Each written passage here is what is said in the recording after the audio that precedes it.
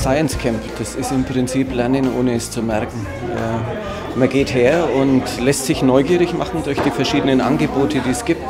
Und am Ende, wenn alles gut geht, sozusagen für Kopf und Körper was gelernt.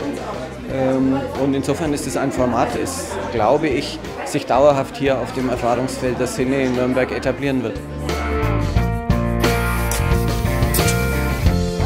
Wir sehen einfach einen, einen, guten Ansatz, Naturwissenschaften und auch andere Themen Kindern und Jugendlichen näher zu bringen und zudem noch den Effekt einer guten Ferienbetreuung, was sicherlich den Eltern auch weiterhilft. Es freut uns, wir sind gespannt, wie die Reaktion der Kinder sein wird.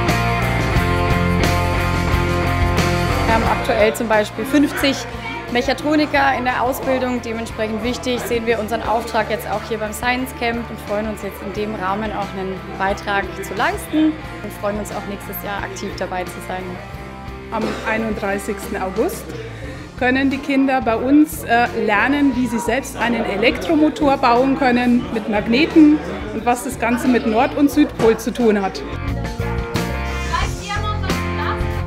Wir haben auch in diesem Jahr ein Gewinnspiel integriert. Das heißt, es können sich auch ähm, Kinder bewerben und Tagestickets für das Science Camp gewinnen. Ich glaube, das ist auch nochmal ein schöner Baustein, denn insgesamt rundet das Science Camp das Ferienprogramm der Stadt Nürnberg in besonderer Weise ab.